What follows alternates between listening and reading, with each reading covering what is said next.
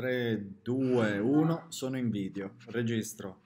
Allora, faccio questo video ragazzi, prendo chiaramente sempre da Facebook, quindi tutti i casi reali che sono pubblicati su internet, eh, di cliniche che mh, mm, chiaramente non stanno in Italia, vi faccio vedere, ho fatto una raccolta qua di fotografie di questo caso che ho preso da questa pagina.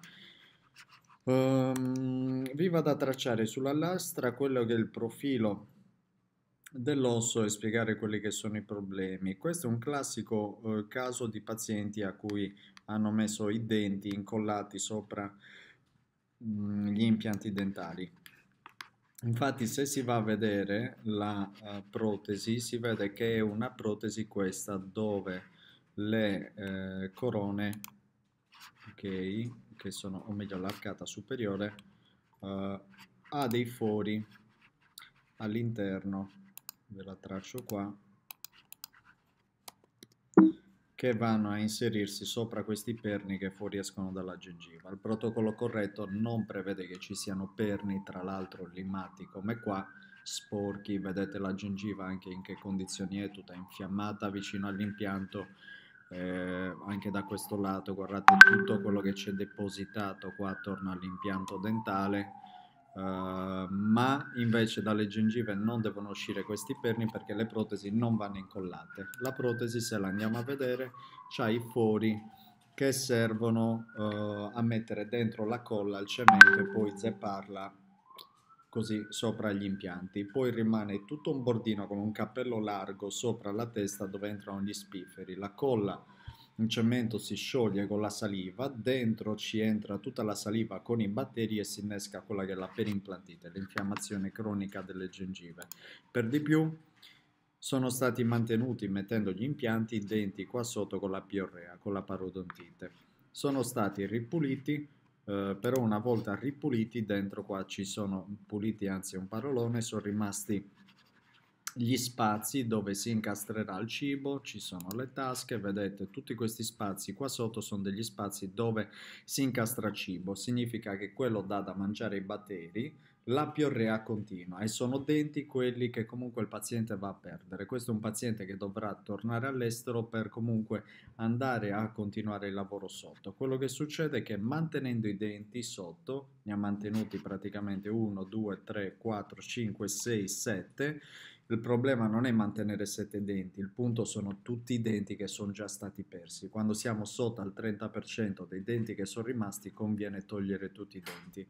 In più sopra vedete che uh, c'è questa sorta di cappello che accementa uh, sugli impianti che va a ricoprire tutti gli impianti. Guardate già la sporcizia anche che c'è qua tutta attorno a questa protesi. Quello che succede è che se vado a vedere la lastra, la salute attorno agli impianti dentali non è assolutamente ottimale, si vede qua sopra per esempio che uh, l'osso si sta già ritirando attorno agli impianti dentali. Se io vado infatti, vediamo un po' se riesco a zoomare qua, mm, vediamo più, sì, qua riesco a zoomare, vedete che l'osso che doveva stare in realtà a questo livello, l'osso doveva stare proprio a questo livello, si sta già tutto riassorbendo, eh, stanno già venendo esposte qua delle spire degli impianti dentali, delle viti, sia qua che qua, l'osso che prima doveva stare a questo livello si sta tutto riassorbendo. Nell'arco qua già di un anno dovrà svitare uno, due, tre, quattro impianti dentali, rifare di nuovo la ricostruttiva ossea eh, mettere impianti dentali. Questo succede perché nella bocca, vedete, sono state mantenute le zone eh, anteriori, radici che sono in completa espulsione dall'osso. Uh, le radici in realtà terminano qua, in questa posizione, l'osso originariamente si trovava a questo livello, quando l'osso si riassorbe così tanto, le radici sono in espulsione, conviene eh, andare a togliere le radici e mettere all'interno della bocca invece degli impianti dentali, delle radici artificiali. Ma eh, quando il paziente eh, non può fare questo lavoro, magari per motivi economici, quello che conviene fare è aspettare. Noi diciamo sempre ai pazienti se non si possono curare tutte le problematiche all'interno della bocca conviene aspettare e iniziare le cure quando si può affrontare il problema. In quel caso sarebbero eh, stati messi qua altri impianti dentali, due, il paziente ha molto osso, vedete qua, per mettere impianti nelle zone più posteriori, anche sopra sarebbero stati dovuti mettere impianti qua dietro e aggiunti quindi dei denti uh, nelle zone più posteriori. Chiaramente questo va valutato, ci sono dei casi in cui conviene mettere 6 impianti, sono quelli casi in cui l'arcata superiore è più stretta, molto più stretta di quella inferiore, allora quello è un caso particolare. Ma ciò non toglie che comunque questo è un paziente che uh, è stato comunque uh, curato con una sistematica qua di impianti uh, con denti sopra gli impianti incollati, cementati. Questo è esattamente quello che si verifica quando il lavoro non è preciso. Guardate qua il profilo. Questo è il profilo dell'impianto dentale. Qua attorno c'è il colletto sul quale deve poggiarsi eh, la capsula. In realtà la capsula, i denti, vedete che il profilo è molto distante dall'impianto. Guardate qua sotto, addirittura il cappello non chiude sulla testa la testa eh, dovrebbe la, mh, mm, il dente chiudere fino a questo livello in realtà qua c'è un bel gap, uno spazio come pure qua dove si incastra cibo, eh, saliva e si innescano tutte le problematiche che portano al riassorbimento dell'osso. Qua invece c'è addirittura la capsula, il ponte che è stato messo più largo dell'impianto dentale. Guardate quanto è larga qua la corona e quanto invece è stretto l'impianto dentale. Praticamente questo è l'impianto dentale, è come se io ho un cappello così largo. Stessa cosa anche su questo impianto e non a caso noterete che i grossi problemi si hanno proprio in questa zona. Se io zoom indietro, qua dove è stato messo questo eh, lavoro incollato, eh, molto più largo dell'impianto stesso, eh, il lavoro sta creando poi dei problemi di infezione attorno agli impianti. Il motivo è allora perché vengono fatti questi lavori così incollati, anche qui sotto guardate l'imprecisione che c'è. Vengono fatti questi lavori incollati per risparmiare, ok? Per risparmiare. Ci sono cliniche, guardate qua addirittura Qua termina l'impianto dentale, il diametro, e qua invece c'è il cappello. Immaginate tutta la roba che si va a incastrare qua sotto e l'alito anche de del paziente.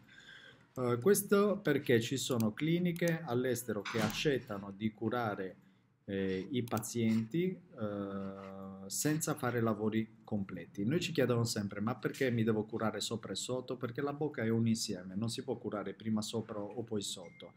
Eh, poi ci sono cliniche all'estero che fanno quello che si chiama split payment, ovvero si paga avanzamento stadi. Molti pazienti non possono uh, neanche all'estero fare una cura completa, fanno allora una cura parziale, ma quello equivale a buttare i soldi, perché fare una cura parziale significa mantenere l'infezione, come in questo caso nella parte qua in basso, uh, oppure scendere a compromessi di materiali invece che uh, usare dei materiali come multi-unit abutment e fare dei denti avvitati invece che incollati, uh, oppure mettere più impianti nelle zone posteriori perché il paziente non ha abbastanza soldi per fare i lavori come si deve, quello che succede è che poi il paziente in realtà non sta risparmiando ma sta uh, subendo l'ennesimo danno biologico che poi dovremmo noi andare a risolvere come molti casi di chirurgie secondarie o terziarie che andiamo a fare qua a Kishina, ovvero pazienti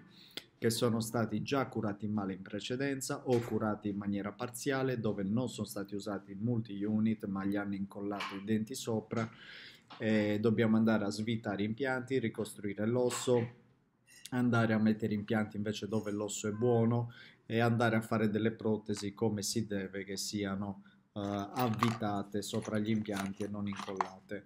Uh, io faccio questi video uh, come sapete perché se noi abbiamo una massa di migliaia di persone informate sul web, queste persone informate sul web possono semplicemente andare con la conoscenza a diffondere che, quelli che sono i protocolli corretti.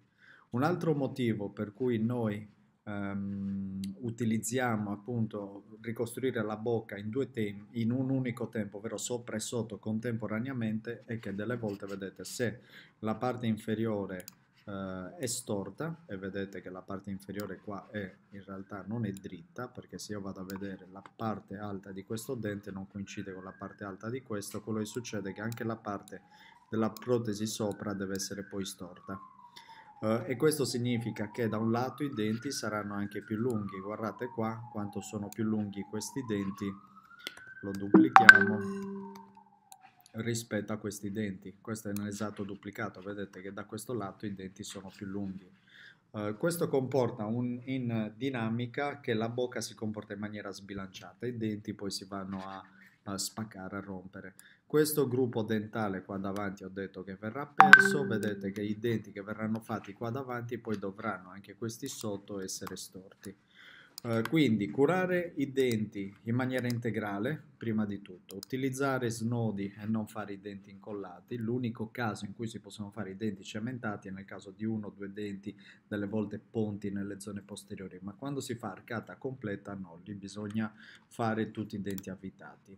Uh, vi ho fatto vedere anche a livello radiografico quelli che sono poi gli effetti sull'osso, sui tessuti biologici di mettere denti incollati o protesi imprecise. Uh, ecco, vi volevo dire prima perché questa protesi è molto più larga. Il motivo è il seguente, ovvero che quando il dentista va a mettere impianti uh, come questi con dei perni che fuoriescono, vedete che sono tutti con assi eh, divergenti, ok, questo è l'asse di questo abutment, questo è l'asse di questo abutment, questo è un asse ancora più storto, questo qui dietro è ancora più inclinato. Se si fanno poi eh, calzare dei cappelli, o meglio un unico cappello sopra tante teste, eh, quel cappello o lo tagliamo in due e quindi faccio due blocchi, uno si mette qua e l'altro si mette qua, oppure faccio un cappello molto più largo, buchi molto più larghi ed è quello che è stato fatto qua, ovvero sono state fatte delle, mm, eh, dei fori qua di ingresso sull'impianto molto più larghi, molto imprecisi, eh, che avranno una tonnellata di cemento, poi eh, non vanno a calzare eh, in maniera precisa, si aspetta che il cemento indurisce, poi il paziente può prendere l'aereo e sparire. Uh, questo, eh, ovvero l'aver progettato in maniera sbagliata le fondamenta del palazzo, um, esita poi nella uh, nascita di ulteriori problemi successivi. Quindi io dico sempre, il modo migliore di risolvere il problema è non crearlo, non crearlo, per questo è importante utilizzare protocolli corretti quando si fanno questo tipo di ricostruttive. Uh, se non sai fare i protocolli, se non conosci i protocolli, è meglio che non operi. Se conosci i protocolli, devi curare completamente una bocca. Okay? Se il paziente non si può permettere di curare completamente la bocca, è meglio che aspetta. Uno, due anni ancora, tre anni, mette da parte eh, i soldi per curarsi anche all'estero, comunque non spendendo un patrimonio, ma operando e facendo una chirurgia corretta, bilanciata con quello che è il problema e con protocolli che poi non causano altri problemi perché se no il paziente rimane nella spirale del dentista, quella che io chiamo la spirale del dentista.